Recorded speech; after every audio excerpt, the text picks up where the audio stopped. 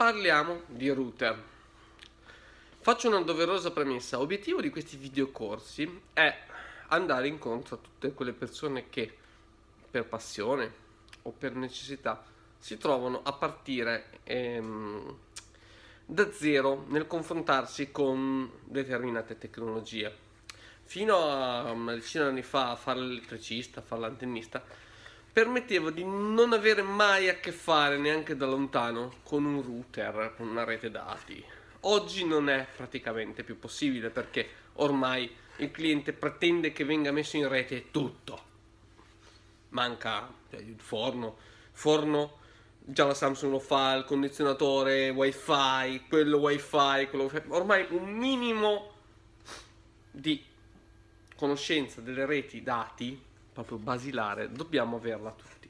Per cui, se sei un espertone di router, di switch, di reti LAN, non stare a guardare questo video, non stare a guardarlo, perché dirò delle cose che potrebbero anche a tuo sindacalissimo giudizio sembrare sbagliate, ma io qua voglio dare a un utente analfabeta, nel, miglior, nel, in questo campo, una conoscenza di base per capire di cosa stiamo parlando. Fatta questa doverosa promessa, quindi tagliati fuori tutti quelli che guarderanno questo video solo per trovare qualcosa da criticare, cominciamo. Che cos'è un router? Noi siamo abituati a pensare, quando parliamo di router, al router di casa tipicamente il mm, carrettone bianco che ci porta Telecom Italia.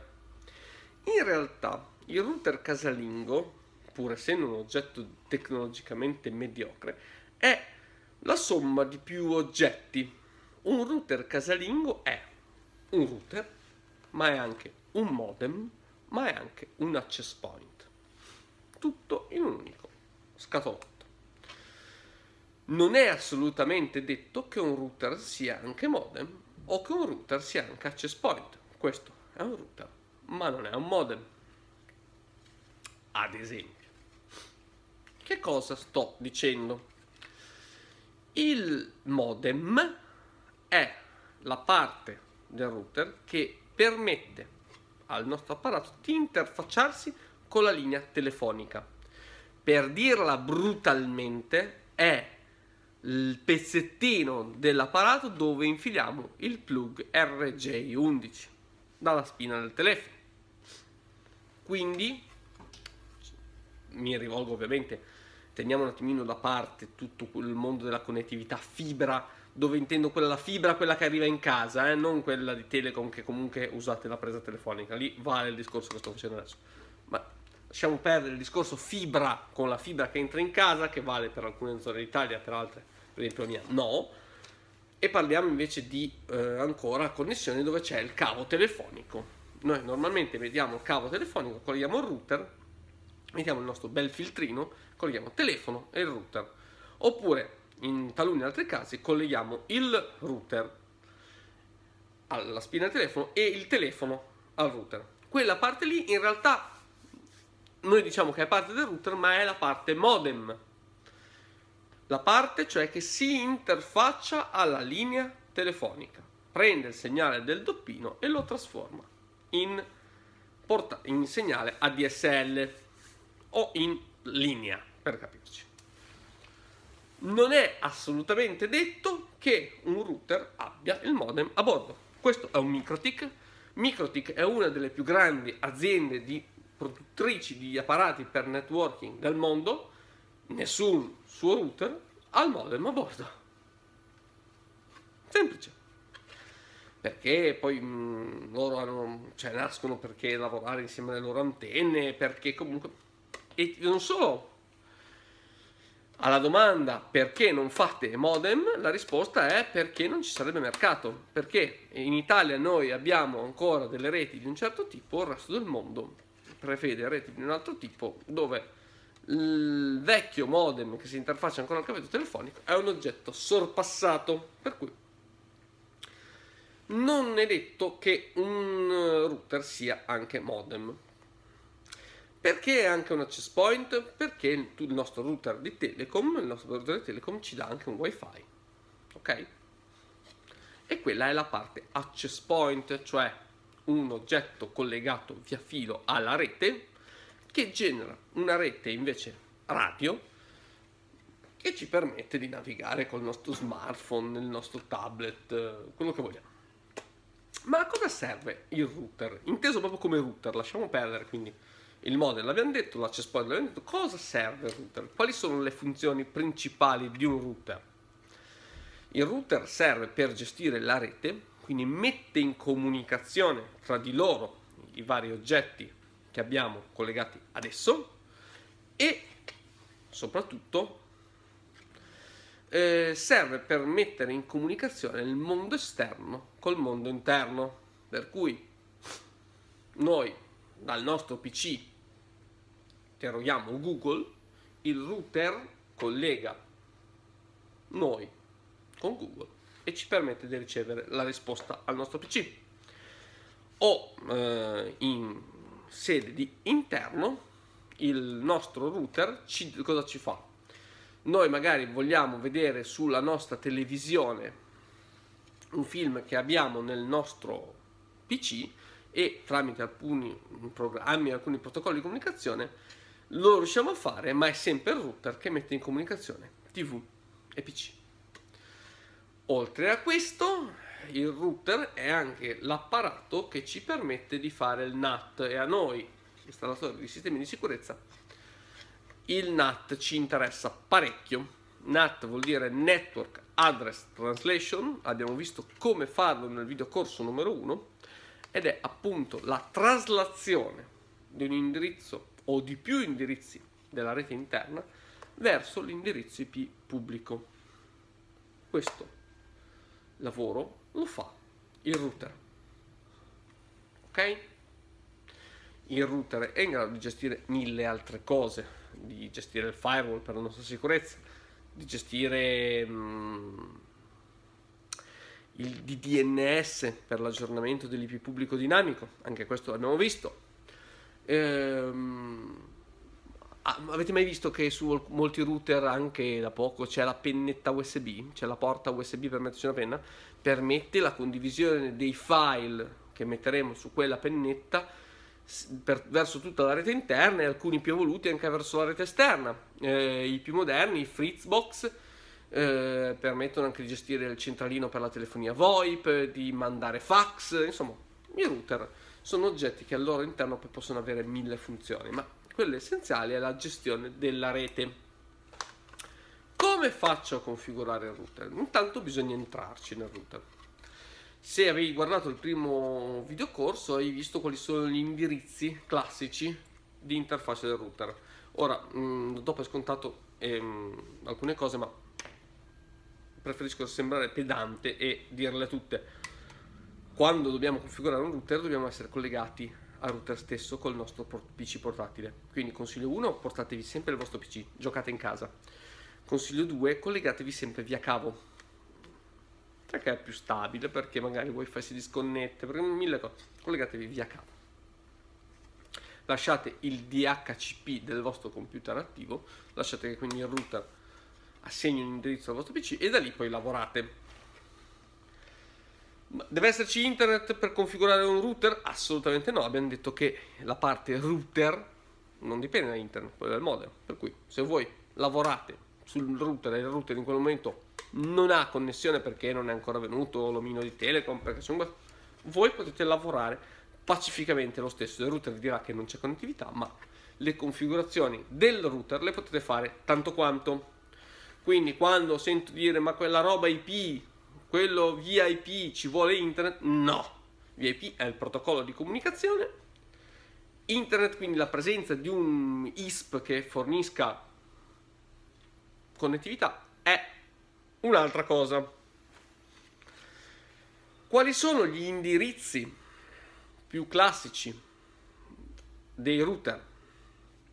I router, anche questo l'ho scritto nel primo video corso, hanno di solito indirizzo 192.168 10 1 192 168 1 1 192.168.1.254, 10.1.1.1.1 e via dicendo. Se fate una googlatina indirizzi dei router più diffusi, ne trovate altri. Però normalmente voi ci state lavorando tramite ovviamente Google Chrome, tramite browser, Internet Explorer, Firefox, quello che volete. Normalmente quando mettete questo primo indirizzo vi trovate di fronte poi una schermata che vi chiede un utente e una password. Se nessuno le ha cambiate, e purtroppo devo dire che beh, se è nuovo ovviamente è a default e se è nuovo le password di default sono normalmente scritte in quel libricino che nessuno legge mai, che si chiamano istruzioni. Spesso potrebbero essere su CD, potrebbero richiedervi un plus aggiuntivo di mettere il CD, però normalmente sono scritte lì. Oppure anche quello user e password di default router di Telecom. Google, il dio Google vi risponde, basta cercare. Però normalmente le password e gli user più diffusi nei vari router delle varie marche sono admin, per quanto concerne l'user. La password può essere sempre admin, può essere un 234, può essere vuota, mettete admin, lasciate vuoto e un. Può essere il fornitore di telefonia che avete, per esempio nella casa mia, prima che lo prendessi io il, router di Fastweb, la password era Fastweb, scritto per esteso Fastweb, potrebbe essere la parola password, admin password, proprio scrivete nel campo password la parola password, poi con un po' di buona volontà su Google troverete sicuramente la risposta. Se per caso invece state mettendo le mani su un router che è stato già configurato e il cliente non conosce la password, attenzione, tutti i router hanno il tastino di reset, ok? Voi di solito normalmente si fa così più o meno, si spegne la corrente, si preme il tastino, si riavvia, fa un po' di lampeggi e poi è resettato. Attenzione prima di resettare un router se serviva solo per eh, guardarsi i pornazzi e per scaricarsi la posta, va bene, lo resettate, mm, funziona tutto. Ma magari c'erano già dentro regole per mettere in linea il cronotermostato, l'antifurto, le telecamere e voi poi non sapete ripristinare niente. Per cui meglio dire oh, no, io non ti posso resettare il router qua. Bisogna trovare chi, oppure mh, mm, ci andate con uno più esperto se chi ha fatto l'installazione non c'è più però comunque attenzione a resettare un router. Altre strade però non ce ne sono, eh. Se dovete mettere mano a un router e quel router è bloccato da una password che nessuno si ricorda più, il reset è l'unica via. Però prima di farlo cerchiamo di capire che cosa stiamo cancellando, va bene? Premesso questo, abbiamo esaminato quindi che cosa serve, come funziona, un altro piccolo suggerimento è quello di imparare a regolare il servizio di DHCP. Il servizio di DHCP, anche questo l'ho spiegato nel video corso 1, ma lo ripetiamo, serve al router per erogare in maniera automatica degli indirizzi IP agli apparati che vengono connessi al router stesso. Io sono l'iPhone, mi connetto al router e il router in automatico, senza che io debba fare niente, mi assegna l'indirizzo 192.168.1.250. Questo è un servizio che va lasciato ovviamente abilitato, soprattutto in quello che può essere una casa o un piccolo ufficio, ma se abbiamo diversi apparati che invece sono magari vincolati da regole o da NAT vari, potremmo avere necessità invece di lasciarli fissi. Bene, in questi casi, in questi casi occorre regolare il servizio di DHCP. Che cosa vuol dire? Vuol dire che noi dovremmo essere in grado di dare al DHCP un range che decidiamo noi. Qual è questo range? Quello che ci serve per esempio, normalmente abbiamo detto che tutti i router casalinghi hanno normalmente erogano un pool di 252 indirizzi dal numero 2 al numero 253. Che ne so, ci riserviamo 20 indirizzi dall'192.168.1.2 al 192.168.1.20 e quelli li escludiamo dal range del DHCP per, e li andremo ad assegnare, che ne so, alla telecamera, all'antifurto, al eh, cronotermostato, a tutti i vari santi che vogliamo lasciare con un indirizzo IP fisso e gli diciamo dal 21 in poi puoi assegnarli come vuoi tu. Normalmente questa sezione in tutti i router la trovate appunto col nome di DHCP e lì potete giostrare in maniera abbastanza semplice la cosa. Cosa bisogna poter fare ancora? Lo saper fare? cambiare la password del wifi e il nome della wifi, il cosiddetto SSID. Nei router di Telecom, non so gli ultimi fibra perché non ci ho più messo mano, però nei router di Telecom l'SSID non si poteva cambiare, o meglio, si poteva cambiare ma facendo un rigiro particolare. In tutti gli altri router che ho trovato nella mia vita si può tranquillamente compilare, c'è un campo dove potete scrivere famiglia, Pluto, quello che volete. La password del wifi è una cosa che va cambiata. Quelle a default che sono scritte sotto i router, che ne so, KVS8, avete presente quando arriva il router che sotto c'è l'etichettina con l'SSID di default e la password di default, vanno cambiate, ma sono lunghissime, sicurissime, è una fava. Esistono delle app, andate a cercare, che permettono anche alla persona meno tecnologica del mondo di sapendo l'SSID, e quello si vede, di calcolare la password perché sono legate da un algoritmo, è venuto fuori, e questo vale per i router di Telecom e per i router di Fastweb. Quindi va cambiata, è una stupidaggine. Noi andate in configurazione wifi e c'è la password. Normalmente la password di default è con standard di sicurezza VPA, W Palermo Ancona. Eh, lasciatela se potete così, vi obbligherà una password un po' lunga, ma piuttosto mettete una stessa parola tre volte in fila, ecco, mm, se non avete fantasia, ma comunque vi obbligherà una password piuttosto lunga, c'è la possibilità su quasi ancora tutti i router di ehm, fare un downgrade di sicurezza con la vecchia password, la vecchia tipologia di cifratura che è la, la VEP W Empoli Palermo, dove il codice che vi verrà richiesto sarà un po' più breve. È un abbassamento della sicurezza, magari a casa vostra non ne frega niente, però comunque la password mettetela, non lasciate router senza password e se vi capita da un cliente di avere un router default, la password del router cambiatela, anche perché poi ogni volta è anche una rottura di coglioni andare a leggersela sotto perché non ve la ricorderete mai quella di caratteri alfanumerici, no? Invece mettete una password famo- mm, memorizzabile e quindi renderete sicuramente la vita del cliente più semplice e anche la vostra in caso di future manutenzioni.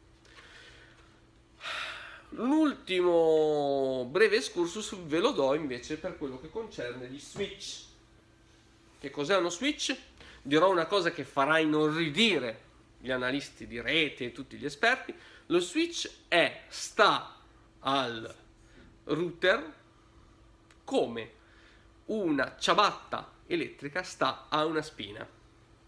Ok? Se il router ha soltanto queste porte a disposizione e voi dovete attaccarci 10 cose, invece di cosa fate? Da una delle uscite andate a una di queste porte indifferente, fateci caso non c'è un'uscita, sono tutte uguali andate a una di queste porte e queste diventano tutte come porte aggiuntive del router.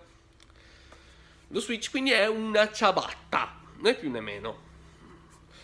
Consiglio senza addentrarmi nel perché, perché come dicevo questo è un videocorso base, eh, ormai al giorno d'oggi è meglio approdare a switch che eh, riportino la dicitura gigabit oppure altrimenti detta 10, 100, 1000, cioè che permettano un transito dati fino a 1000 megabit per secondo, perché?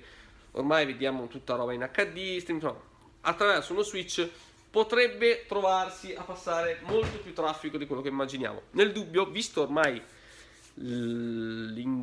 l'irrisoria differenza di prezzo, cerchiamo di approdare sempre ad apparati gigabit, anche senza capire perché, ma cerchiamo sempre di prendere router e switch gigabit.